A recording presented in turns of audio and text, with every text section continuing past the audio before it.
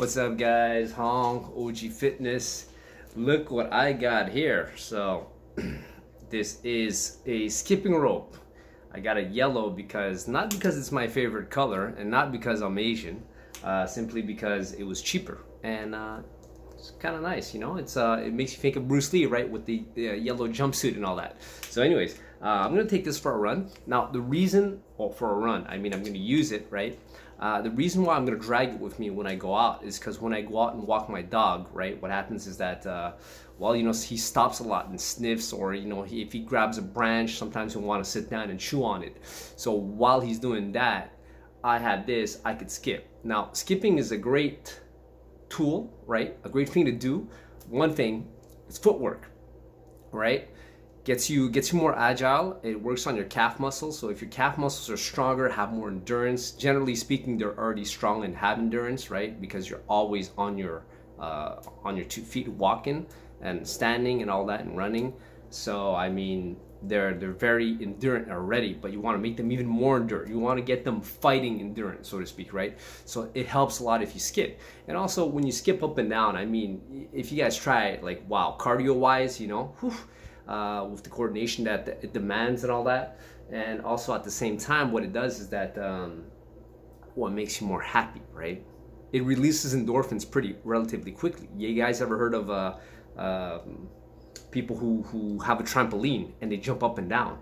It's been proven that when you jump up and down like that, it does something, right? And uh, it makes you it makes you happier. It releases uh, the happy chemicals in your brain, endorphins. So you could do the same thing by um, uh, by running too, right? It takes a little bit more time, I find, running, right? But if you jump up and down, like it activates more. I don't know the science behind it, but uh, it does. Like try to jump up and down. Like next time you guys are feeling down and out, like a little bit tired, a little bit foggy, don't just try to like, oh, you know, it'll pass. Cause I that's what I used to do. I'm like, okay, well, it'll pass. It's just one of those things, you know. And then uh, then go about your day, and then oh, you know, like you got to control your state. So one way to control your mood, right? When you're in a better mood, you make better decisions. Uh, you know, you're more uh, you're more productive, right? So which is good. And and uh, one of the one an easy thing to do and and try this. Just if you have a skipping rope, fine. But if you don't, just jump up and down and do some or do some burpees or half burpees or whatever, quarter burpees. You know, if you don't want to be uh, if it's it, if it just feels too much of a task, but or you have, you have a jump, jumping rope, you could skip rope, or you could just jump up and down, like on your, uh, as if you had a skipping rope, except you don't, right? So you jump up and down for a few minutes, you're gonna see like it changes your mood, it changes your psychologic, uh, psycholo- uh, your psychology, your physiology, and all that. And and you know, and it's it's a great warm up too. So and I got these speed, uh, what do you call it? Um, speed uh, skipping rope, right? So you see right here, yeah, you guys can see it. Watch, it turns right? It's not fixed. So that way you can do more tricks with it. Uh, this is what boxers use a lot, you know, da, da, da, so they could, you know, uh, do, uh, you know, double unders, crossovers, side swing like this, like that, like that. Like I'm actually not too bad, but I mean, I'm definitely planning on getting better. Also, if it's raining outside, right?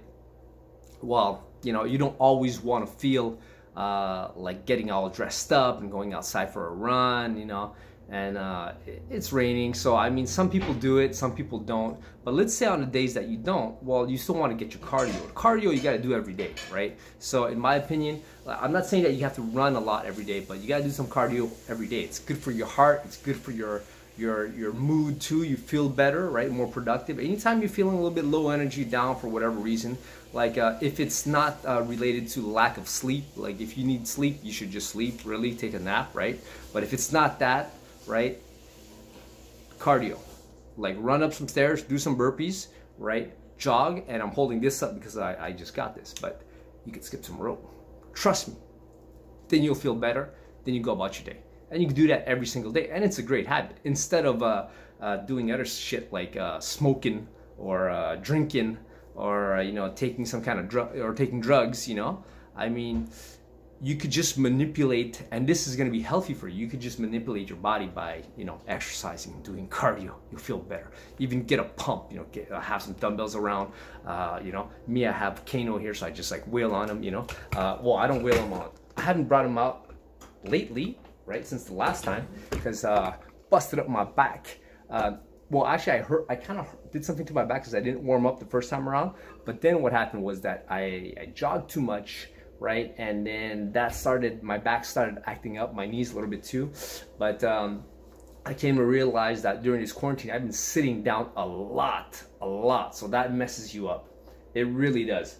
Uh, posture wise, it shortens the muscles in the front of your body, and that has some serious, serious implications to your posture, to your back, uh, and so on. So now I'm sitting much, much less. I actually have a standing desk, but I kind of, you know, we all kind of get complacent sometimes.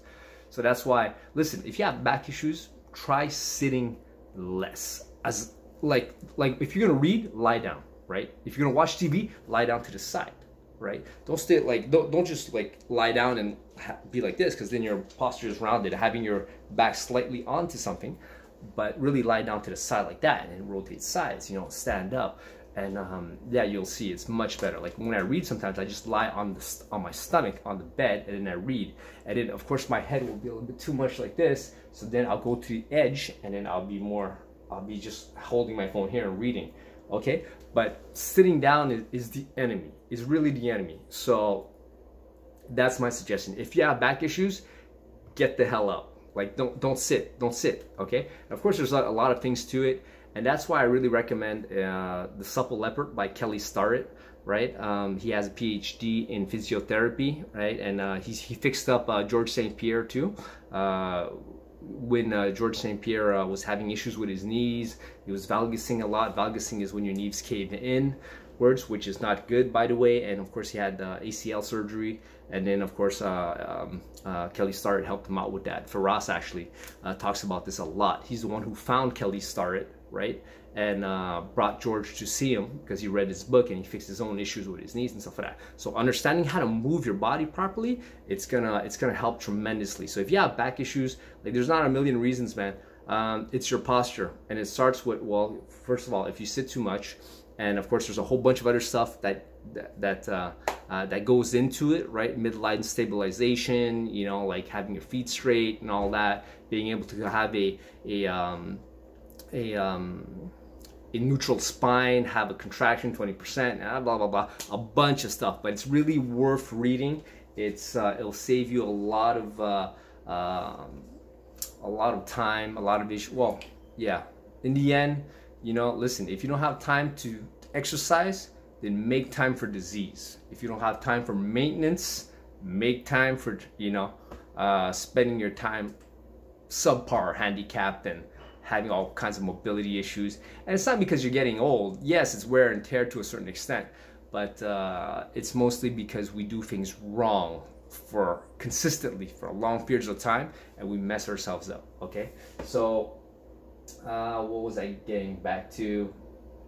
Yeah, that's it, man. It was just my little uh, rant video here. Um, not rant video, sorry, but I just want to show you guys what I'm doing. So I'm gonna jump out now for a walk. I'm gonna go walk the dog and I'm gonna fix this up because I gotta screw this in right? I'll put the link down below uh, for you guys if you guys want to buy this. But you see uh, if you buy one though like there are like some people buy ones with really heavy handles so they could like kind of do their shoulders at the same time. Ah whatever. No I just I just want to you know. When I do resistance I do resistance. When I skip and I do cardio and footwork cardio and footwork. All right guys Peace. Have a good Saturday. Have a good weekend. Uh, things are opening up, by the way, here in Montreal, meaning that now they're letting us assemble outside 10 people maximum, three families uh, total. I don't think that's going to be respected. Uh, you know, when, when they say three families that are close, right? Now, most likely, you know, friends are going to like meet up again. Of course, they'll keep a little distance, but it'll be gatherings of 10. The weather's getting nice here. And um, yeah, man, so you guys have a good one be safe, be strong. Listen, we're all gonna catch this virus at one point, right? So if you can avoid it, fine. But uh, the best way is to make sure that you're able to survive when this happens. So if you're not already in, if you're in shape, stay in shape. If you're not in shape, get into shape and stay away from people. So until you know until you're in shape, and of course, I hopefully they find a vaccine. But listen, man, that kind of shit is out of our control. We don't know when they're gonna find one, man. They're talking about a year and a half, three years, man. You know, so like, the, your best bet is really to, to, to, to wash your hands, do all the stuff you're supposed to do, right?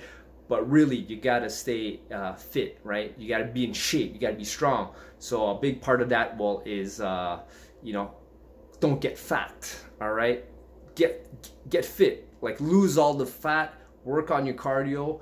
Work on your nutrition. Right, and uh, definitely sleep, man. Sleep, sleep is a big thing. If you don't sleep enough, everything else suffers. Everything else suffers, right? So, anyways, I'll make other videos on that. But uh, stay safe, have fun, guys, and uh, yeah, get yourself a skipping rope. Okay, use the link below so I can make some money off of it too. All right, peace.